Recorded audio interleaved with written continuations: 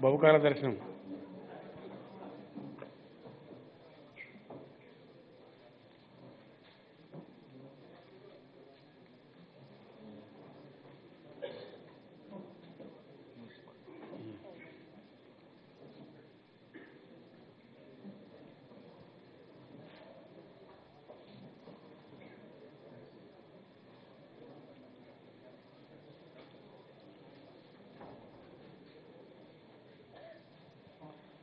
చెప్పేసుకుందాం కదా. హుజూర్ నగర్ ఉప ఎన్నికలలో టీఆర్ఎస్ అభ్యర్థికి అఖండమైనటువంటి మెజార్టీ ఇచ్చి బ్రహ్మాండమైన విజయాన్ని అందించినటువంటి హుజూర్ నగర్ నియోజకవర్గ ప్రజలందరికీ కూడా నేను హృదయపూర్వకమైనటువంటి కృతజ్ఞతలు తెలియజేస్తా ఉన్నాను. ఎందుకంటే వారు అక్కడ నా సభ జరగలేకపోయింది. ప్రతికూల వాతావరణ పరిస్థితి ఉండి నేను వెళ్ళలేకపోయినప్పటికీ కూడా అద్భుతమైనటువంటి మెజార్టీ ఇచ్చినారు. చాలా సంతోషం. ఏదో ఆశామాసిగా అలవోకగా వేసినటువంటి ఓటు అని చెప్పి నేను అనుకోవడం లేదు. డెఫినెట్గా క్యాలిక్యులేటెడ్గా చాలా ఆలోచన చేసి టీఆర్ఎస్ ప్రభుత్వం ఏర్పడ్డ తర్వాత సుమారు ఒక సంవత్సర కాలం జరుగుతున్న సందర్భంలో జరిగినటువంటి ఉప ఎన్నిక ఇది. ఈ మధ్య చాలా వాదోపవాదాలు చర్చోపచర్చలు అనేకమైనటువంటి నీలాప నిందలు అపోహలు అనుమానాలు అవన్నీ కూడా జరుగుతూ ఉన్నాయి. ఈ సందర్భంలో వచ్చినటువంటి ఈ తీర్పు డెఫినెట్లీ దీంతో రాష్ట్రంలో ప్రభుత్వం మారేది కానీ అధికార మార్పిడి కానీ జరిగేది లేదు. కానీ డెఫినెట్గా పనిచేస్తూ పోతున్నటువంటి ప్రభుత్వానికి ఇది ఒక టానిక్ లాగా పనిచేస్తుంది. మరింత ఉత్సాహంతో పనిచేయడానికి ఒక అవకాశాన్ని కల్పిస్తుంది. ఒక స్పష్టతను ఇస్తుంది. ప్రతిపక్ష పార్టీ వాళ్ళు చాలా రకాల దుష్ప్రచారాలు చేసినారు. చాలా నిలాప నిందలు చేసినారు కొంత దుర్మార్గమైన ప్రచారం కూడా చేసినారు. వ్యక్తిగతమైన నిందలు చేసినారు. వాటన్నిటిని కూడా పక్కన పెట్టి మా అభ్యర్థి చైదిరెడ్డి గారిని మంచి మెజారిటీ నలభై మూడు వేల పైచీలకు మెజారిటీ వచ్చినట్టుగా ఫైనల్ చెప్తా ఉన్నారు. గతంలో అదే సీటు మేము ఏడు వేల మెజార్టీతో ఓడిపోవడం జరిగింది. అంటే యాభై వేల టర్న్ అరౌండ్ ఆల్మోస్ట్ గతంతో పోలిస్తే fifty thousand voters turn around అయ్యి కుండ బద్దలు కొట్టినట్టు వారి అభిప్రాయాన్ని చెప్పినారు. హుజూర్ నగరు ప్రజలు ఏ ఏ ఆశలతోనైతే ఏ ఏ హోప్స్ పెట్టుకొని టీఆర్ఎస్ని గెలిపించినారో వంద పర్సెంట్ నేను వెళ్ళినప్పుడే చెప్తామని అనుకున్న సభలో వాళ్ళ ఆశలు నెరవేరుస్తాం. హండ్రెడ్ పర్సెంట్ వాళ్ళ కోరికలు తీరుస్తాం. అక్కడ సాగర్ ఆయకట్లో టేలియన్ ప్రజలు బాగా బాధపడతా ఉన్నారు నాకు ఆ విషయం తెలుసు. హండ్రెడ్ పర్సెంట్ నేను బహుశా మా పార్టీ వాళ్ళు అక్కడ మినిస్టర్ గారు అక్కడ పనిచేసినటువంటి ఇన్ఛార్జ్ పల్లా రాజేశ్వరరెడ్డి గారు మీరు ఎల్లుండి రావాలని చెప్పి చెప్తా ఉన్నారు. మేము ఆల్రెడీ ఎలక్షన్ కమిషన్ కూడా అడిగినాం మేము. ఇక్కడ ఎల్లుండి ఒకసారి పోయి వాళ్ళకి నమస్కారం చేసి వద్దాం. కృతజ్ఞత నేను బహిరంగ సభ పెట్టలేకపోయినా ఎన్నికల కోసం. కృతజ్ఞతాపూర్వకంగా వాళ్ళకు థ్యాంక్స్ చెప్పొద్దామనే అభిప్రాయం నాకు ఉంది ఆల్మోస్ట్ ఫైనల్ అయినట్టే ఎల్లుండి ఈవినింగ్ హుజూర్ నగర్లో కేసీఆర్ సభ ఉంటుంది. తప్పకుండా వాళ్ళకి థ్యాంక్స్ కూడా చెప్తాం. వాళ్ళ సమస్యలు కూడా ఈ లోపల కూడా కొంచెం మాకు తెలుసుకొని అనౌన్స్ చేసి అక్కడికక్కడనే ఎన్నికల నిబంధన కూడా పోతుంది కాబట్టి అనౌన్స్ చేసి వాళ్ళ ఆశలన్నీ తప్పకుండా నెరవేరుస్తాం. మా కాన్స్టిట్యూషన్ అభివృద్ధి పరుస్తామని కూడా నేను తెలియజేస్తా ఉన్నాను రాష్ట్రంలో ఉండేటువంటి ప్రతిపక్షాలకు నా సలహా. మొన్న శాసనసభలో కూడా నేను చెప్పిన ఎదుటి వాళ్ళని నిందించడమే ఒక రకమైనటువంటి పద్ధతి రాజకీయం అనుకుంటుంది కాదు. కరెక్ట్ కాదు. ఆ పందా కూడా కరెక్ట్ కాదు. మీ పందా మార్చుకోమని కూడా నేను కోరిన. నేను కోరడానికి కారణం ఉంది బలమైన కారణం ఉంది. మనది కొత్తగా ఏర్పడ్డ రాష్ట్రం. పాత్ర పోషణ వేరే వేరే ఉండవచ్చు. ఈ రోజు ఒకరు అధికారంలో ఉండొచ్చు ఇంకోరు ప్రతిపక్షం ఉండవచ్చు. పాత్రలు మారవచ్చు రేపు. ఇది ఎవరికి శాశ్వతం కాదు. కానీ రాష్ట్రం యొక్క పునర్నిర్మాణ కార్యక్రమం జరిగే క్రమంలో మన రాష్ట్రాన్ని మనమే శపించుకోవడం రాజకీయాల కోసం పచ్చి అబద్ధాలు చెప్పడం ప్రజలను గోల్మాల్ దింపే కార్యక్రమాలు చెప్పడం ఒక నెగటివ్ దృక్కోణాన్ని ప్రచారం చేయడం నూతనంగా ఏర్పడే రాష్ట్రానికి మంచిది కాదు. దయచేసి పందా మానుకోమని కూడా చెప్పినాం. ఇంకో మాట కూడా చెప్పినాం. కొంత షారప్ కూడా చెప్పినాం. కొంత కోపాన్ని కూడా చెప్పడం జరిగింది.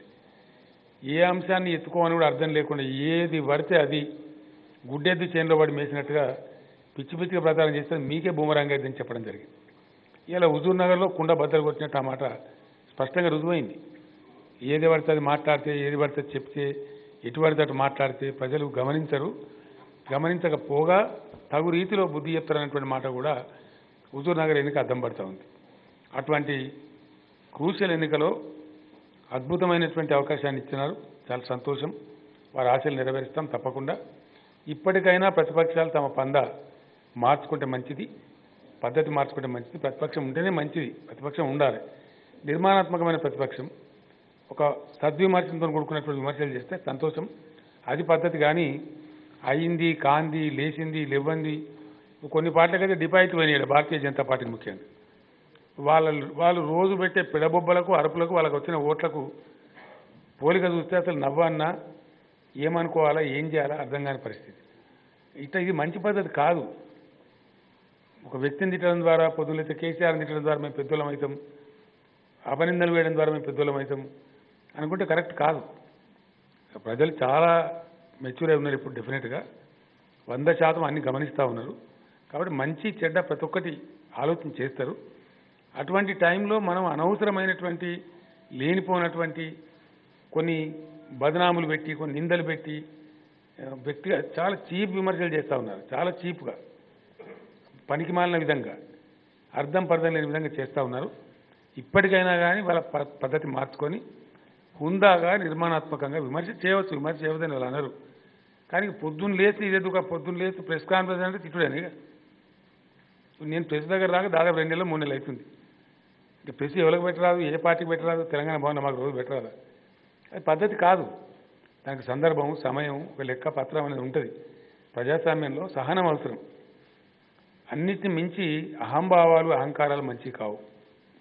మేము ఎన్నో గొప్ప గొప్ప విజయాలు సాధించాం ఎప్పుడు కూడా మేము గర్వపడలే. ఈ విజయంతో కూడా నేను మా టీఆర్ఎస్ నాయకులకు మా క్యాడర్ అందరూ కూడా మనవి చేస్తా ఉన్నా మనం గర్వపడే అవసరం లేదు.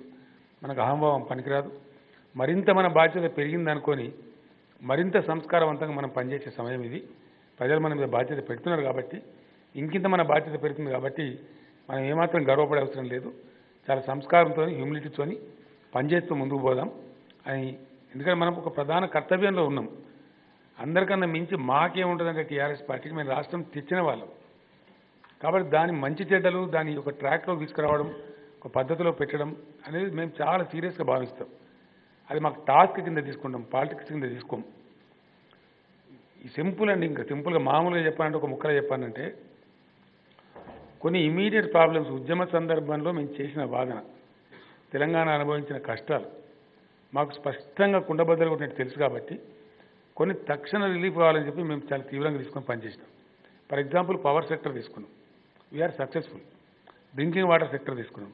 Today there is no drinking water problem ఒక సింగూరు ద్వారా ఉన్నటువంటి ఒక ఐదారు నియోజకవర్గాలు మినహాయిస్తే ఎక్కడ కూడా ఇప్పుడు ఆ సమస్య లేదు. ఖతం- అయిపోయింది తెలంగాణకి శాశ్వతంగా కూడా డ్రింకింగ్ వాటర్ ప్రాబ్లం ఉంటుంది సిటీలో పని జరుగుతూ ఉంది. కొన్ని నాలుగు రోజులైతే ఇక్కడ కూడా కంప్లీట్ టోటల్గా డ్రింకింగ్ వాటర్ ప్రాబ్లం పోతుంది. అట్లా అగ్రికల్చర్ వాటర్ కూడా ఇరిగేషన్ వాటర్ కూడా తీసుకున్నాం. కాళేశ్వరం ఆల్మోస్ట్ దగ్గర పడ్డది పాలమూరు ఫుల్ స్పీడ్తో పోతా ఉంది. సీతారాం అయిపోతా ఉంది.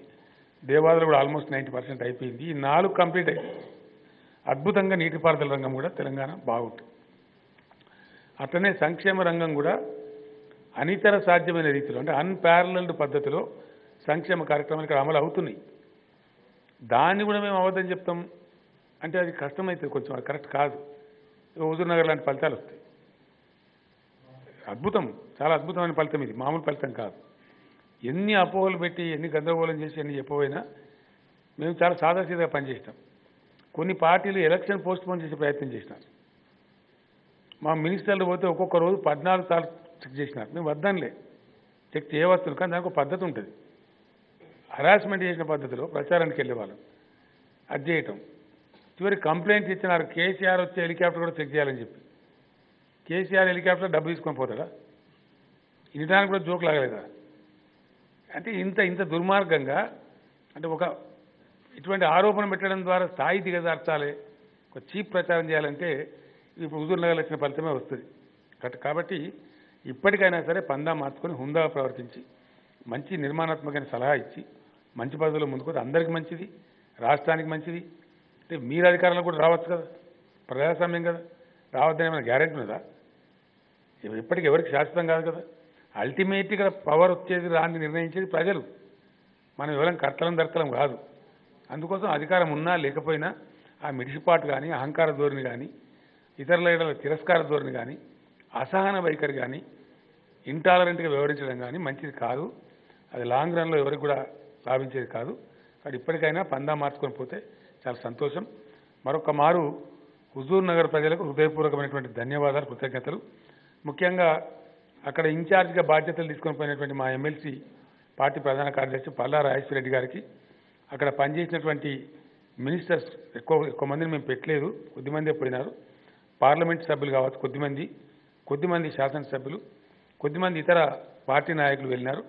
వారందరూ కూడా విశేషమైన కృషి చేసినారు. వారికి కూడా పేరు పేరున ప్రతి ఒక్కరికి నేను ధన్యవాదాలు తెలియజేస్తా ఉన్నా. హుజూర్ నగర్లో పనిచేసినటువంటి టీఆర్ఎస్ హుజూర్ నగర్ పార్టీ నాయకులు కార్యకర్తలు అనేక సార్లు వాళ్ళు ఓటమి పాలైనా మొదలు మేము శంకరమ్మ గారిని పెట్టినాం అప్పుడు ఓడిపోయినాం. తర్వాత సైదిరెడ్డి గారిని పెట్టినా పోయిన గత ఎన్నికల్లో ఓడిపోయినాం. కానీ మొక్కవోని దీక్షతో పార్టీ కార్యక్రమాన్ని కొనసాగించి ఈరోజు చివరికి విజయం సాధించినారు. అది మామూలు విజయం కాదు అద్భుతమైన విజయం. ఏడు వేలు పోయినసారి మైనస్ ఉంటే దాన్ని రికూప్ చేసి మరొక నలభై మూడు వేల పైచిత్తం గెలవడం అంటే ఈ యాభై వేల మెజార్టీని సాధించినట్లు లెక్క ఈరోజు మంచి విజయం సాధించినారు. వారికి కూడా హుజూర్నగర్ కార్యకర్తలకు కూడా నేను థ్యాంక్స్ తెలియజేస్తూ ఎల్లుండి సభలో హుజూర్నగర్ సంబంధించి అన్ని విషయాలు కూడా అక్కడ ఏదో ఆల్మోస్ట్ నైంటీ పర్సెంట్ ఫైనల్ అయింది. జస్ట్ పర్మిషన్ అవైటెడ్ ఉంది. ఇస్తామని చెప్పినారు. ఇన్ ప్రిన్సిపల్ ఇస్తామని చెప్పినారు. ఈ రాత రాతపూర్వకంగా పర్మిషన్ వస్తే ప్రోగ్రామ్ డిక్లేర్ చేసి ఎల్లుండి సాయంత్రం హుజూర్నగర్ కూడా వెళ్ళి ప్రజలకు కూడా థ్యాంక్స్ చెప్పి వస్తాం. మీకు మీ అందరికి కూడా థ్యాంక్స్ అర్జెంటుగా పోతాం కదా దానికి ఆలస్యం ఎందుకు? ఎందుకంటే ఇక్కడ ఇష్యూ ఏంటంటే ఈ మధ్య జరిగినటువంటి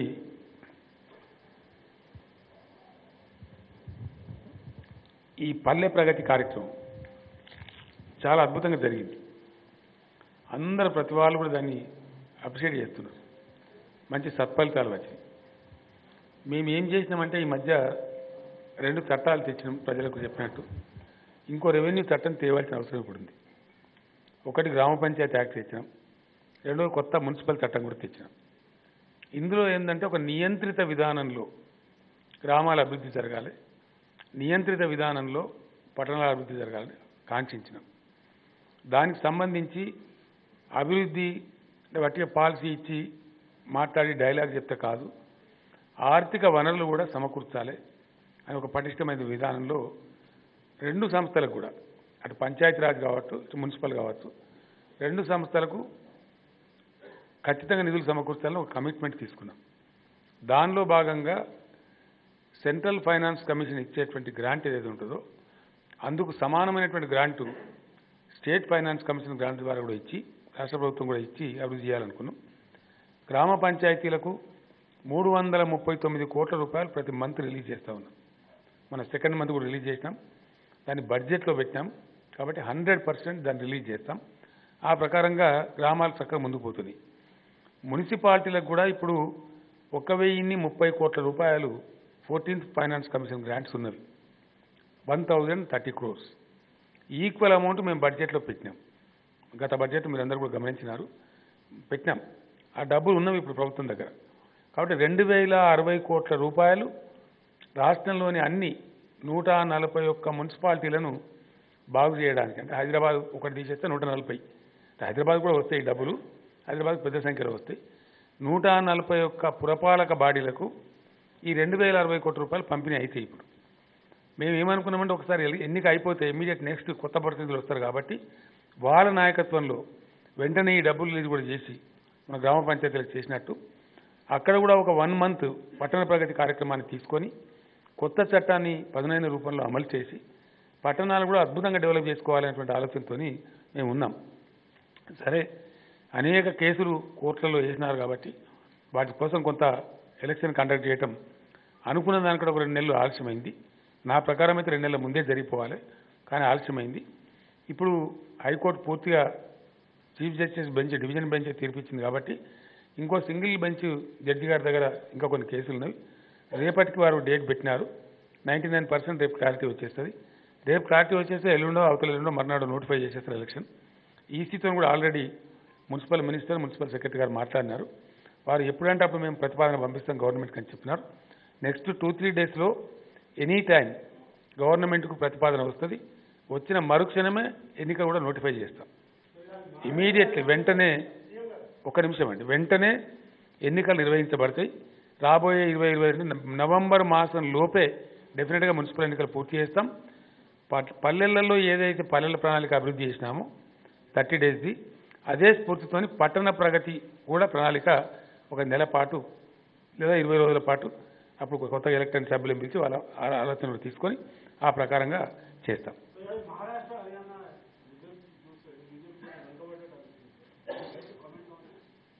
అనిపించిందంటే జరిగింది కదా ఉన్నమాటనే కదా. నేను అనడానికి కొత్తగా? ఫలితాలు పెద్ద టీవీలో ఎందుకు గొడవ చూపెడుతుంటే?